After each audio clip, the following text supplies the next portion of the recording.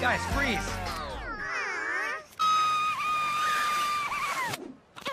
Don't worry, family vacations are all about fun. But first, we're gonna need to set some rules. Let's start with you can't call dibs on a bed until everyone's in the room.